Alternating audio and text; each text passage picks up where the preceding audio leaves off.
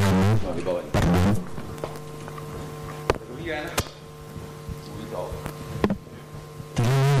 Tenhle mluví, jak si budeme brát o ten.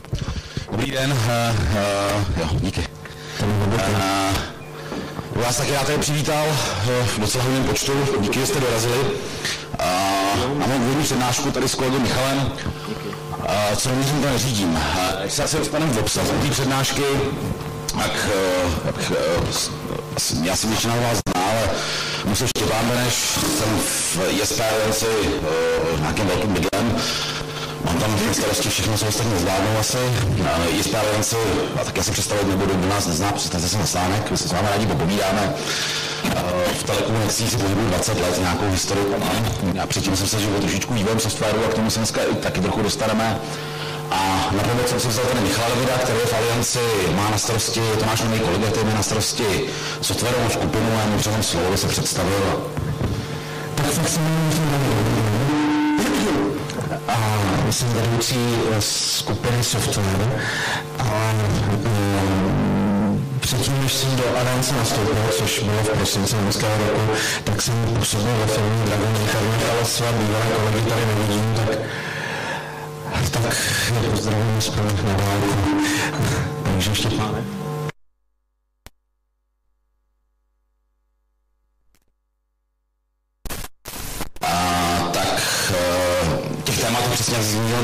dneska poměrně dost, ale my jsme se do tohoto softwaru už upsali a do implementovat asi na 15 místech najednou. Máme si docela zajímavé zkušenosti a jedna z těch zkušeností je e, vlastně implementace ve firmách nebo způsob Dělal jsem spousta jiných věcí v těch spousta jiných věcí jsme viděli a proto jsme si připravili tu přednášku. Tak jsme něco neměřím, tě neřídím a vlastně směruje k nějakému mm, zhodnocení, jak se v těch firmách, v těch firmách to řízení děje, koná a tak dále. Já vycházím z nějakých začáteční premisy, eh, kdy zdravá firma by měla růst. Pokud firma neroste, tak něco špatně. Jako můžou existovat firmy, které rostou, ale to už jsou jako specifické případy. Už když vycházíte z toho, že je nějaká inflace, uh, nějaký výši 2, 3, 4 bankám teďka centrální nás 4 roky krmila poměrně dobře, proč musí být minimálně 2 a nějaký cílová inflace podobné věci, to jste se zarazili všichni, jsem to všimli stále nás celé z peněz všechny. Takže pokud neroste to nějaký 3-4-5%, tak ta firma je úplně mrtvá, vlastně klesá jí velikost.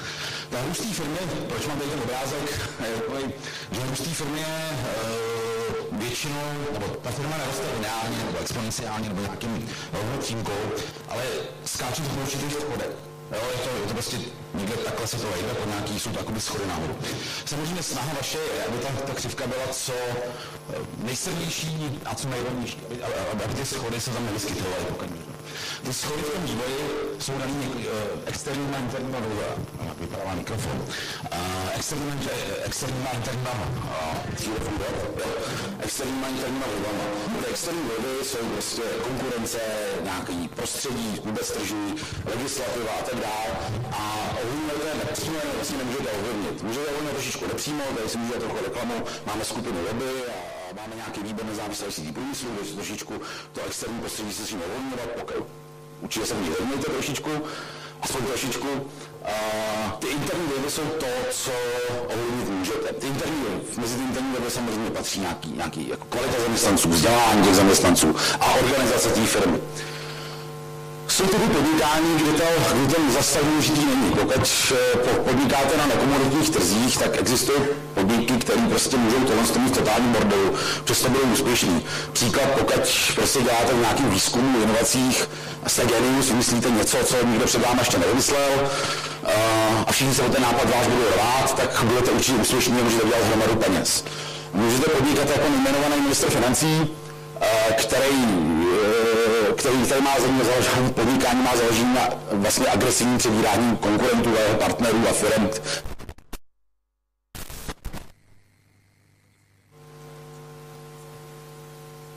potřebujeme tady volávat soudce a další věci a policie, ale to už je to diskuze na čím Můžete střílet lidi, to je taky jako biznis, který jako nepotřebujete, je trochu nelegální, ale má vysokou přidanou hodnotu. Uh, nepotřebujete organizace. Ale my, se, my jsme ta telekomunikační konference, předpokládám, že všichni jste z nějakých telekomunikačních firm a telekomunikace dneska jsou naprosto komunitní věc. Doby, kdy, kdy a, jste někde na trhu, možná tady někdo to štěstí má, že někde v nějakém místě, v nějaké vesnici, v nějaké lokalitě sám, ale existuje tady někdo takovej? Jsi se ochotný přihlásit? Nikdo se nehlásí, jo? Kdybych se ptal, kdo má v lokalitě více jak 10 konkurentů, tak si myslím, že se, já, si, já, se, já bych se přihlásil na ten dotaz. Jo. Takže více jak 10. Jo, uh, takže prostě jsme na vysoce komunitním trhu, prostě je to naprosto běžná věc, ten člověk si vybírá z x nabídek, z různých technologií a tak dále. Takže uh, ta, ten důraz na tu organizaci, efektivnost fungování té firmy nabírá, nabírá na důležitosti v tomhle podnikání, protože vlastně vám umožňuje, když to máte vyřešení dobře, jste efektivní, tak vám dává nějakou konkurenční výhodu. Tak, jak na to? Ty přístupy, přístupy uh, řízení těch firm, nebo přístupů k řízení těch firm je několik a dá se o tom vést dlouhý battle, jako jsme se tady mohli hádat, který je správný. Já se dostanu potom k jednomu tomu zásadnímu, který si myslím, že je správný, ale ten battle tady vůbec nechci, takže jenom zmíním. Uh, historicky se používalo tzv. funkční řízení, to je vymyšlený poměrně dávno, myslím, že to vymyslel Adam Smith v roce 1720 Každý, kdo se učil ekonomii, tak určitě o něco čet. A uh, to funkční řízení spočívá v tom, že vlastně vy ty činnosti té firmy rozdělíte na malinkatý kousky, na úplně, jako se zřídíte na atomické kousky, uh, tu firmu rozdělíte na nějaké organizační jednotky, zjednodušeně řečeno, a ty kousky malý přidělíte do těch organizačních jednotek. Fungovalo to dobře, Fordovy závody jsou toho příkladem, stala se, je to takový etalon, na kterým se to uvádí. Má to jednu zásadní nevýhodu, a to je to, že vlastně vy se nedíváte na tu činnost té firmy jako celek, ale máte jednotlivý organizační oddělení, který hodnotíte podle nějaké výkonnosti. Ale nedíváte se na, ten, na tu činnost jako na celek a když vám někde něco nebude fungovat, tak se to blbě odhaluje poměrně, nebo není to tak úplně jednoduché. Uh, druhý přístup je projektový řízení, kdy vlastně se na každou tu činnost díváte na, jako na projekt. uh, a Eh, řídíte to vlastně jako, jako soubor unikátních činností. Ano, prostě teď stavíme barák, teď přivezeme cihly, nebo vylejeme desku, pak na to postavíme nějaký cihly, pak na to hodíme střechu a teď to jako řídíte a tak dále. Tohle je legitimní naprosto řízení, eh, je ale vhodný v oblastech, kde, kde každý ten projekt je vlastně unikátní, kdy prostě neopakujete ty činnosti. A na to nasazuje to procesní řízení, kdy se vlastně na tu činnost té firmy díváte jako na celek, nebo na ty jednotlivé činnosti se vlastně podíváte na celý průtok tou firmou a uh, proces je vlastně projekt, který se neustále opakuje. Jo? Dělá toho víc než jednou. A uh, to se v telekomunikacích, myslím, je, my, my jsme toho naprosto krá, úžasný, jako krásný příklad. Připojení klienta je neustále, nebo získání připojení, pro, provoz klienta je neustále se opakující. To děláme, jak tady říkal Míla, máme 10 tisíce klientů, možná i 100 tisíce a to neustále, některý se tisíce a to, ale prostě děláme to tolikrát, kolikrát těch klientů máme, neustále furt dokola. Takže to procesní řízení má něco do sebe. Co toto procesní řízení je, uh, nebo co to je proces? Já si dovolím, teďka už jsem mluvil dlouho, tak předám slovo kolegovi. Tak děkuju. Tu hlavní myšlenku mi Štěpán vzal, takže já ji zopakuju. Ale skutečně jsme přesvědčeni o tom, že, nebo doufám, že máte stejnou zkušenost, že proces je projekt, který se neustále opakuje. A e, proč tady vlastně vám tohle to všechno vyprávíme? Protože si myslíme, že máme docela dobrý nástroj, e, jak, jak vám s tím pomoct. Ale pojďme se ještě vrátit k tomu, teda, k, tomu výhod, k těm výhodám toho procesního řízení. E, ta hlavní výhoda spočívá v tom, že jsou striktně definované zodpovědnosti.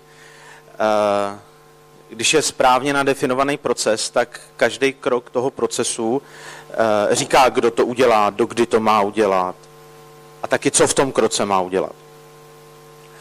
E, pokud si namalujete jakoukoliv mapu těch procesů, tak e, lze snadno nebo snadněji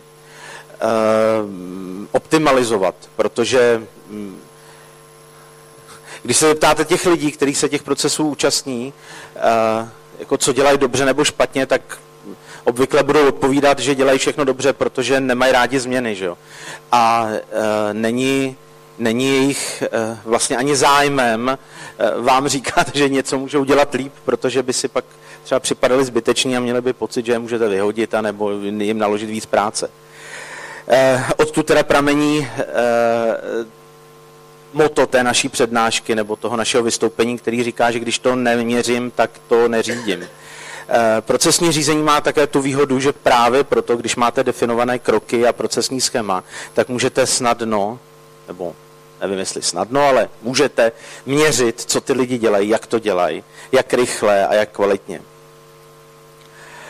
Uh, definovaný proces, takhle. Uh, já věřím tomu, že většina z vás jako zaváděla třeba normu ISO 9000, což je jakási, eh, eh, nebo na procesech je to hodně založené, že ano, na, na směrnicích toho, co, kde, kdo, jak dělá, jenomže to je jenom předpis, to je jenom, to je jenom dokumentace toho, eh, jak se to v té firmě má dělat.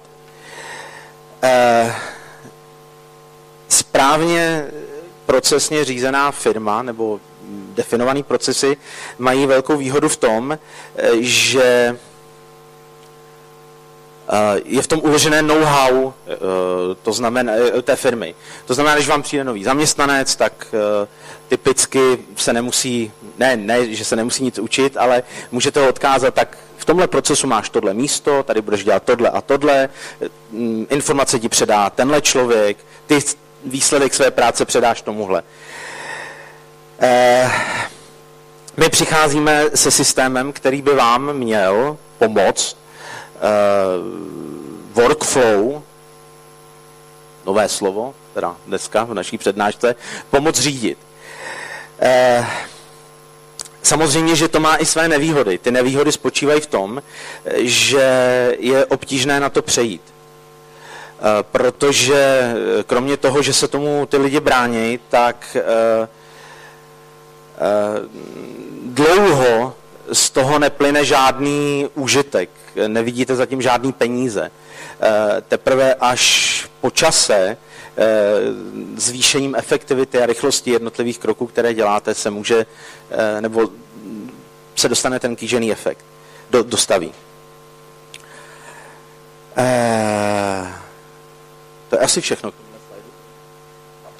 Já, takže když to schrnu, tak prostě proces je vlastně úkol, který, eh, když to řeknu lidskýma slovama, tak proces je úkol, který vám plyne uh, mezi jednotlivými lidmi ve firmě a vlastně ty plní jednotlivé činnosti, používá ty zdroje, ty lidské zdroje, materiály a tak dále, vypadne vás to nějaký výsledek. Velmi často jsem slyšel, když jsme to řešili v některých firmách, jsme nasazovali, tak říkají, my jsme moc malí na to, jako, eh, na to prostě, jako tady nějaký takovýhle, jako moresy, jako zavádět. My víme všichni, co tady děláme, tak dál. To, co tady zmínil Michal, že prostě odejde vám zaměstnanec, on říkal, že přijde, ale on může taky odejít. Od vás to know-how vám s ním odchází. Když máte ty procesy vlastně, tak, tak to know-how se kóduje do nich. Takže ten, není to taková ztráta. Ale uh, tady jsem chtěl říct, mám nějaký obrázek prostě nějakého limonádového biznesu dětského. Uh, I my si myslíme, že to procesní řízení je vhodné i pro malé organizace. Dokonce i pro one man, jako one man show firmy, nebo takové ty firmy typu táta má garáž, nebo takovéhle firmy. Když jim odejde kluk, který tu limonádu míchá, když to řeknu v příkladu, uh, který ví, kolik té limonády dát a kolik, kolik tam dá té sorovky, tak prostě bude tam dělat jiný, který neví, nevyzkoušel si to, tak tam bude tý, že to má rád sladký, bude tam toho rád hodně, toho syrupu a budou prodělávat peníze, protože ten je drahý. Prostě. A tak dále, toho se může dít spousta. Samozřejmě on to má spoustu dalších věcí, ono to na vás i sebe kontrola, prostě nějaká způsob, když, i když sami máte zavedený proces, děláte to jako one man show, tak prostě ten proces vám vlastně říká, kolik jakých činností máte, v jakém stavu, víte, kolik toho musíte udělat, kde, co se v jiných systémech hledá trošičku složitější. Uh, druhá taková věc, která je u toho velmi příjemná, je to, tohle je nějaká matice fungování zaměstnanců, když to řeknu nuše. Zaměstnanec buď chce nebo nechce a musí a nemusí té matici, nemám to rozdělení takový, takový to. Pokud ten zaměstnanec chce v té horní půlce, jak je to super. Pokud chce a musí, tak, je, tak jako vysoce výkonný, funguje dobře, takový zaměstnanci máme všichni rádi. Kdybychom měli všichni takový, tak je to skvělý.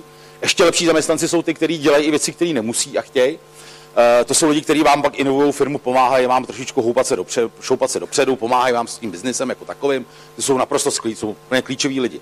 Problém je, když ten zaměstnanec nechce což je poměrně, poměrně uh, jako běžná lidská vlastnost a jako sami asi víte, já taky dělám spoustu věcí, které nechci dělat, ale musím. To je ještě výhoda, jo? tam máte nějaký ten poslušný odpor, jako odkládáte to, prostě nějakým způsobem se to vyhybáte, ale jednou to udělat musíte. Uh, nejhorší je, když ten zaměstnanec nechce a nemusí. Jo, nemáte kontrolní mechanismy, nebo ty kontrolní mechanismy jsou slabý, ne, neměříte to, nevíte prostě kolik toho uh, a pak vyhazujete peníze, vy toho člověka platíte a on vlastně nedělá tu činnost. Já bych mohl uvést asi poměrně dost příkladů, kdy prostě ty lidi si umí najít různé cestičky, uh, kdy vlastně najdou vám díry v těch vašich systémech kontrolních v té organizaci a vlastně, když nemusí, tak, nebo když, když nechtějí, nemusí, tak si tam najdou vel, jako velký díry.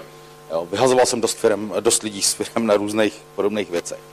Takže uh, to je takový je další výhoda toho systému. A...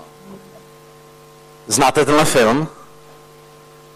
To je s Charlie Chaplinem, uh, uh, myslím, že se to jmenuje Nová doba. A uh, když to s těma procesama přeženete, tak to vypadá jak v tom filmu. Já nevím, jestli si vzpomínáte, ale Charlie Chaplin tady jako utahuje na běžícím pásu nějaký šrouby, pak je z toho tak zblblej, že vidí takovou ženskou, která má tady jako na popředí takový knoflíky a snaží se, jim to, snaží se jí to utáhnout taky. Uh, a proč o tom mluvím? Uh, vy samozřejmě, uh, nebo byl jsem svědkem několikrát, kdy management firm byl jaksi opojen tím, tím kouzlem toho procesního řízení a snažil se těm lidem vnutit myšlenku, že jim má říct, kdy si mají utřít zadek, když jdou na záchod.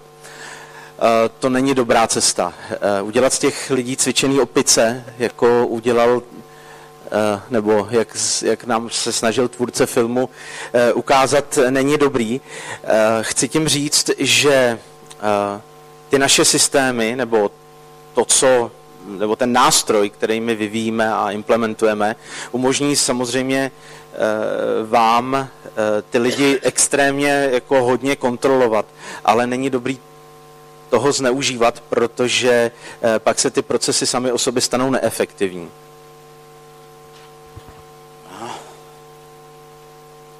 Tak, eh, teď to ještě možná předám slovo tobě, co jsme chtěli. No, jasně, jasně, jasně. Uh, I úkol je poměrně, nebo dát někomu úkol a očekávat jeho splnění je taky proces. Uh, já se domnívám, že většina z vás dává úkoly svým lidem tím, že jim něco řekne, nebo že jim pošle e-mail.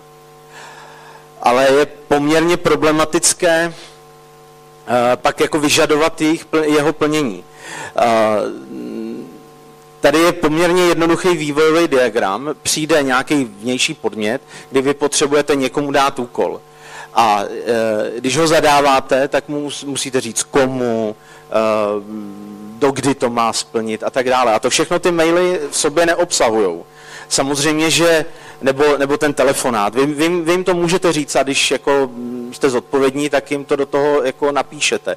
Ale ty naše systémy vás jako donutí, když dáváte úkol vašemu kolegovi nebo podřízenému, dokonce i nadřízenému, eh, tak vás donutí eh, říct, do kdy ten úkol má udělat. Donutí vás eh, mu k tomu dát přílohy nezbytné, a v okamžiku, kdy mu dáte prostor na to plnění, tak eh, on ten úkol splní, tak vám se zase zpátky dostane na stůl, vy ho zkontrolujete a když jste s ním nespokojení, eh, tak ho znova vrátíte zpátky, což je nekonečný cyklus, respektive konečný v okamžiku, kdy ten zadavatel řekne ano, jsem spokojený a pak ten proces končí. Takže i takhle banální věc, jako je zadat někomu, úkolu, eh, někomu úkol, je prostě proces jsme tím vlastně chtěli říct, že tohle je naprosto, tohle je činnost, která se v těch firmách děje jako absolutně nejvíc. Prostě něk, Jarno, a udělej to. Jo. Když mu to pošlete mailem, tak pak musíte složitě hledat ty maily, jako kde to máte, jako udělalo to, neudělalo to. Ten procesní systém, ten byl, pokud máte pro to dobrou softwarovou podporu, tak vám to vyřeší naprosto efektivně. Můžete obcházet různýma GTD systémy a tak dál. A ty jsou vhodné zase pro, personální fungování. Jako mají špatně, poměrně, nebo většina těch GTD systému je, jako není dobrá pro, pro sdílení těch úkolů prostě v nějakým velkým, velkým, velkým, uh, velký skupině lidí. Tak, uh, proč o to vlastně mluvíme? Protože, protože uh, my jsme to samozřejmě řešili, rádi jako chceme, máme nějak implementovaný různě procesní řízení. My jsme teďka tu tématiku tady polochtali, ono se o tom dá mluvit, to jsou celodenní přednášky, jak to dělat, proč to dělat, jaký jsou míry implementace, jsou různý levely těch implementací toho procesního řízení. Uh, od nějaký procesní slepoty, kde v té firmě nemáte definovaný přes definici těch procesů, až prostě pro dynamické procesy, které se neustále sami kontrolují. To je docela zajímavý téma, ale to složitý a vysoko přesahuje rozsah té přednášky. Ale my jsme se rozhodli, protože jsme se dívali po tom trhu, chtěli jsme to implementovat a nenašli jsme moc jako zajímavých softwarů, který by nás, jako, který by nám vyhovovali. Jsou velký systémy softwaru jako SAP, ten asi to jméno jste slyšeli asi všichni, uh, který jsou na to postavený. Problém je, že jsou nehorázně drahý a konzultanti, kteří umí nakonfigurovat, jsou taky, jako, to jsou jedny z nejplacených lidí na trhu. Uh, jednoduchých systémů, který umí, umí uh, řešit procesní řízení na tom trhu zase tak moc není. Takže jsme se rozhodli do toho našeho, do toho našeho ekosystému softwarového Adminus doimplementovat, doimplementovat tady, tu, tady tu funkcionalitu.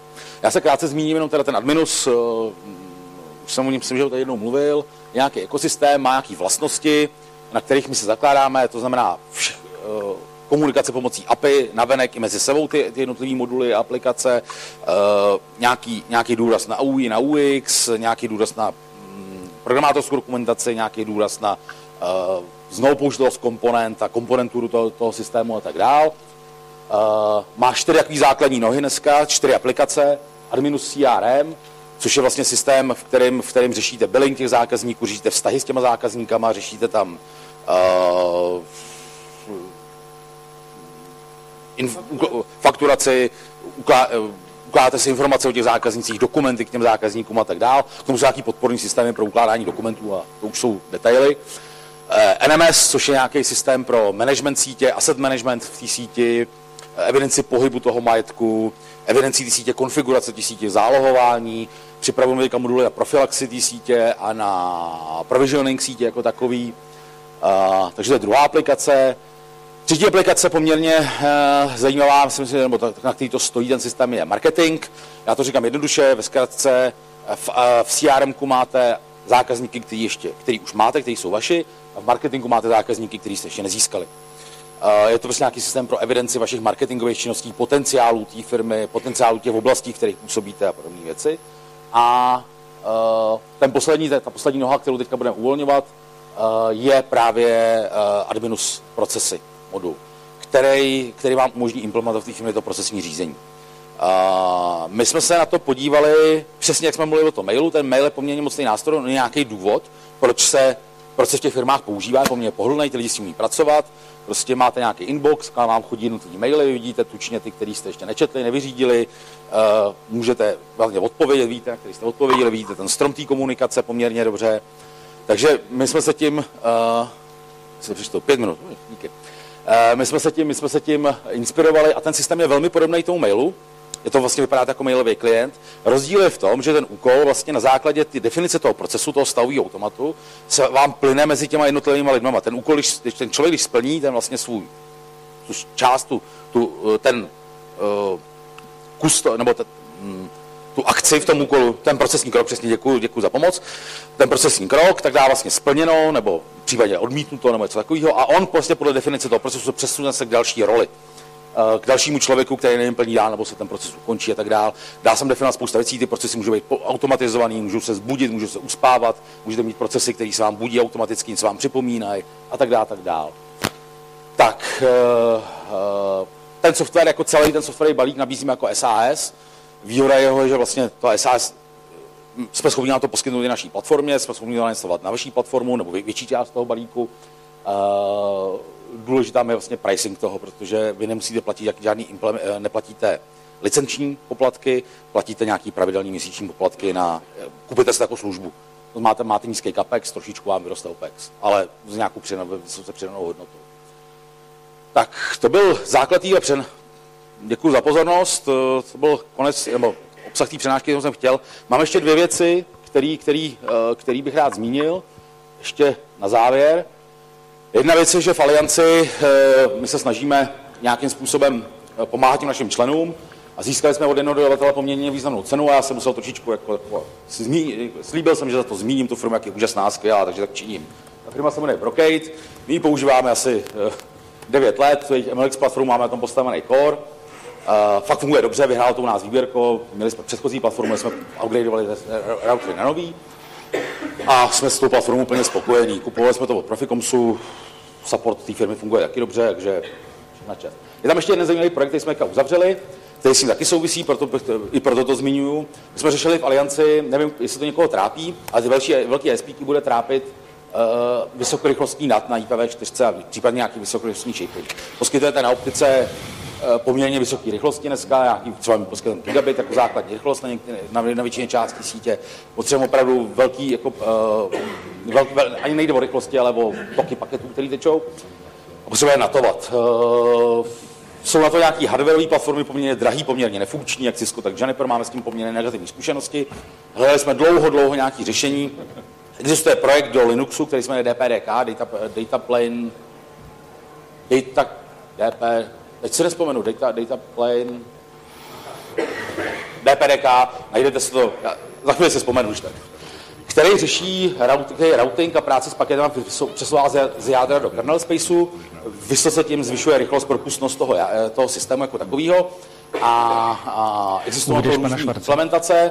Jednu z nich dělala Vajata, kterou koupil právě Brocade a přeměnoval to na V-Router, je to hodně zajímavá platforma, pokud to někoho zajímá, doporučím stavte se za mnou třeba na stánku. Řekni, že můžou klást ty dotazy, je tam ten příspěvek. A úplně poslední věc, kterou bych chtěl říct, uh, jestli se někdo z vás zajímá trochu historii antickou, tak v době uh, mezi druhou a třetí punskou válkou, uh, uh, kartáginskou válkou, Říma s Kartágem, uh, byl, byl římský senátor, který, no, Publius Scipio Africanus, no to Africanus získal potom až v třetí válce, když porazili Kartágo, uh, definitivně, tak uh, jeho názor byl, že prostě Kartágo musí být zničeno, protože nějaký nebezpečí pro Řím. Každou svoji řeč zakončoval tím, že mimo jiné soudím, že Kartágo musí být zničeno, až se mu to nakonec povedlo.